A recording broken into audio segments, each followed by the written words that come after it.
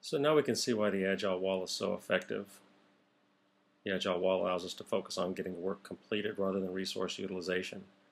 We've seen how 100% resource utilization actually has a detrimental effect on the overall throughput of uh, the work being completed by an Agile team.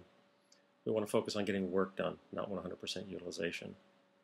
The Agile Wall is also a great information radiator, provides tremendous transparency to the project team on progress, to stakeholders, to uh, everybody uh, associated with the project, and it also provides a lot of information on the health and well-being of uh, how the system is actually operating. It helps us manage constraints, helps us identify where the constraints are, helps us identify where we need to or how we need to uh, focus on breaking those specific constraints. And because it does show the complete system, shows everything that's happening within inside of our software development process for that project, it supports lean thinking and it also supports systemic thinking. I'd be glad to uh, share these slides with you, uh, even the Excel spreadsheets and the Flash animation. Just send an email to tlooy at tacitknowledge.com and I'll be glad to answer any questions that you have, uh, take any feedback that you might have, and I'll gladly share these, uh, these resources with you. I would like to say that these are not project management tools, these are actually teaching tools. I don't believe that you need that stacked area chart in order to effectively manage projects. I think what you need is an effective agile wall.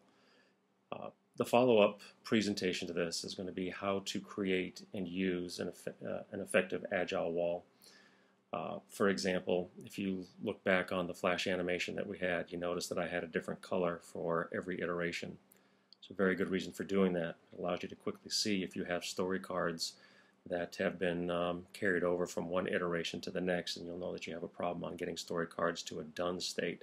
So if you walk up to an agile wall and you see multiple colors for story cards on the wall, a person's going to know instantly that there's there's some issues going on on that project with getting story cards to a done state. So there's a myriad of different tick, so there's a myriad of different tips and techniques for how to effectively use an agile wall, and we'll address those along with the questions of what do you do with an agile wall if you have a distributed team. So looking forward to putting that presentation together next, and uh, please don't hesitate to reach out to me if you have any questions.